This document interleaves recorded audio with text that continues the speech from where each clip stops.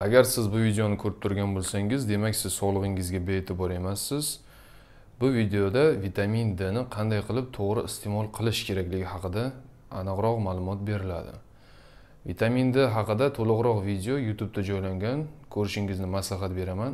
Bu videoda qanday qilib vitamin d ni to'g'ri iste'mol qilish va o'sha kutilgan natijaga erishish haqida to'liq va qisqa ma'lumot beriladi. Har safar qabulga bemorlar kelganda vitamin d zaxirasini tiklash maqsadida. Vitamin d iste'mol qilaman deb aytishadi va ko'p hollarda buni noto'g'ri qilishadi.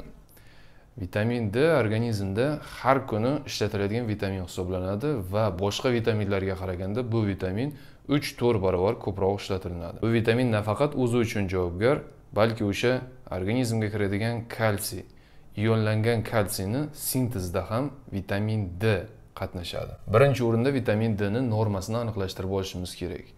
Vitamin d normada to'qsonni tashkil qiladi.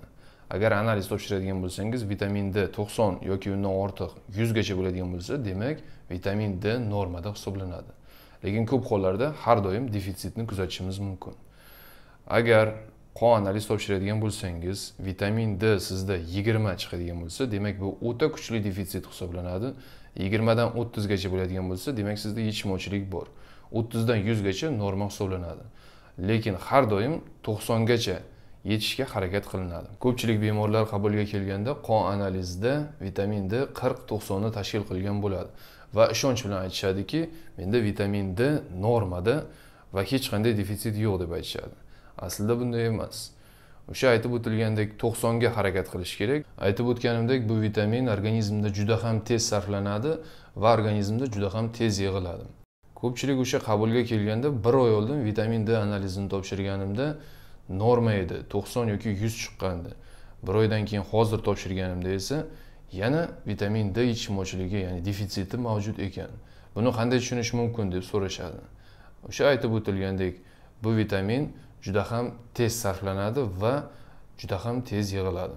Asosiy maqsad o'sha qondagi normal vitamin d ni normada uzoq muddat ushlab turish. Buni qanday amalga oshirsa bo'ladi? Quyidagicha amalga oshirish mumkin. Har doim birinchi navbatda vitamin d beriladigan bo'lsa minimal dozadan kelib chiqqan holda vitamin d beriladi. Agar bemor qonda vitamin d analizi topshirgan bo'lsa va qondagi vitamin d o'ttiz va undan sal yuqoriroq bo'ladigan bo'lsa bunday holatda besh ming dozirovkadan boshlagan ma'qul. Lekin ishonavering besh ming dozirovkadagi vitamin d uch oy ichadigan bo'lsa ham to'rt oy ichiladigan bo'lsa ham vitamin d miqdori normaga yetishi juda ham qiyin bo'ladi. Yosh bolalarda va yosh kattalarda vitamin d ni o'zlashtirish tezligi farqi mavjud. O'n ikki yoshgacha bo'lgan bemorlar ya'ni bolalarda vitamin d defitsitini tiklash maqsadida vitamin d buyuriladigan bo'lsa ikki oy mobaynida buyuriladi. Yosh kattalarda ya'ni o'sha o'n ikki yoshdan yuqori bo'lgan bemorlarda defitsitni tiklash maqsadida vitamin d buyurilishi esa uch oy mobaynida davom etadi. Agar o'rta yoshdagi inson vitamin d defitsiti vujudga kelgan bo'lsa bunday bemorlarga uch oy davomida o'n ming dozirovkada vitamin d buyuriladigan bo'lsa o'sha uch oy ichib yurgandan keyin bir hafta o'tgandan keyin qayta o'sha vitamin dga analiz topshiriladi. Agar biz kutgan natija o'sha to'qson va undan yuqori yuz bo'ladigan bo'lsa demak biz o'sha kutilgan natijaga erishdik. Va uch oy mobaynida hech qanday vitamin d iste'mol qilmaysiz. Va uch oydan keyin o'sha iste'mol qilmaganingizdan keyin yana qayta vitamin d ga analiz topshirasiz va o'sha biz kutgan natija o'ttizdan kam bo'ladigan bo'lsa demak siz shu narsani bilingki u yaqin uch to'rt yil ichida siz vitamin d ni ichib yurishingiz kerak. Aniqroq qilib aytadigan bo'lsak bir oy davomida o'sha o'n ming dozirovkada vitamin d ichasiz bir oy davomida ichmaysiz. Yana xuddi shunday bir oy ichasiz va vitamin d bir oy mobaynida to'xtatiladi. Ikkinchi variant agar sizda vitamin d yetishmovchiligi mavjud bo'lib o'sha vitamin d zaxirasini tiklash maqsadida uch oy davomida o'n ming dozirovkada vitamin d iste'mol qiladigan bo'lsangiz va uch oydan keyin analiz topshirgan bo'lsangiz biz kutgan natija to'qsonga yetishmagan bo'lsa demak siz bilingki o'sha vitamin d ni formasini o'zgartirish kerak. Agar siz tabletka ichadigan bo'lsangiz tomchiga o'tgan ma'qul agar tomchida bo'ladigan bo'lsangiz tabletkaga o'tgan ma'qul. Yuqorida aytib o'tilgandek ya'ni o'sha uch oy mobaynida vitamin d iste'mol qilib yana uch oy mobaynida to'xtatish va uch oydan keyin bu holatni yana qayta tekshirib ko'rish kerakligiga bu holatga deyarli to'qson foiz holatlarda bemorlar e'tibor qaratishmaydi. Shunchaki esidan chiqib qolishi mumkin yoki bunga mas'uliyatsizlik bilan qarashadi. Lekin hozir aynan o'sha belgilarni sanab o'taman. Bu belgilar o'sha vitamin d ni organizmda defitsiti bor yoki yo'qligini aniqlashtirib beruvchi belgilar hisoblanadi. Birinchi belgi bu sochlarda o'zgarish bo'lishi.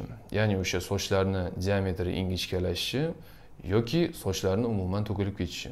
Bunga oddiy misol o'sha qish faslida yoki uyda uzoq muddat bo'ladigan insonlar yoki shunchaki quyosh bilan kontaktda juda ham kam insonlarda kuzatishingiz mumkin. Sochlar juda ham tez tez to'kilib turadi. Hattoki butunlay to'kilib ketish xavfi ham mavjud. Bu birinchi belgi hisoblanadi. Ikkinchisi bu tirnoqdagi o'zgarishlar ya'ni tirnoqda deformatsiyalar yoki har xildaqa dog'lar paydo bo'lishi yoki o'sha e, tirnoqlar qurib ko'chib ketishiga sabab bo'lishi mumkin. Uchinchi belgi esa teridagi o'zgarishlar. Teri qurishini kuzatishimiz mumkin yoki tovonda yorilishlarni kuzatishimiz mumkin. Yoki o'sha vitiligoga o'xshab oq dog'lar tana bo'ylab paydo bo'lishi mumkin. To'rtinchi belgi esa bu og'iz bo'shlig'ida ya'ni tishlarda o'zgarishlarni kuzatishimiz mumkin. Ayrim tishlarda yorilishlarni kuzatishimiz mumkin va yosh bolalarda esa o'sha tishlarni qorayib kariesni kelib chiqishini kuzatishimiz mumkin. Bunga asosiy sabab o'sha vitamin d yetishmovchiligi natijasida yuqoridagi belgilar kelib chiqadi. Beshinchi belgi esa bu eng asosiy belgilardan biri hisoblanadi. Umurtqa pog'onasidagi o'zgarishlarni kuzatishimiz mumkin. Yoshi kattalarda bu o'zgarishlar protruziya grija kabi belgilarni keltirib chiqaradi. Yosh bolalarda esa umurtqa pog'onasida deformatsiyalarni kuzatishimiz mumkin.